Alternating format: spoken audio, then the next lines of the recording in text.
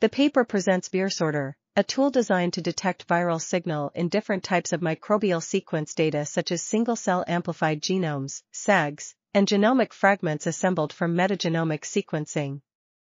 VirSorter uses probabilistic models and extensive virome data to maximize detection of novel viruses, and performs better than existing tools for fragmented genomic and metagenomic datasets. The tool can identify viral signal in assembled sequence as short as 3 kb, with near-perfect identification on contigs of at least 10 kb.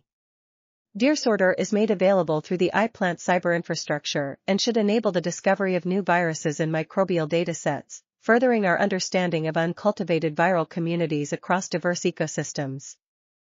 This article was authored by Simon Roux, Francois Enault, Bonnie L. Hurwitz, and others. We are RTCL.TV, links in the description below.